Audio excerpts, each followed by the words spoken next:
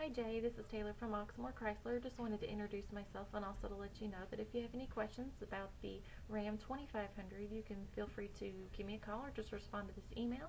My phone over here is 502-855-5883. Look forward to hearing from you.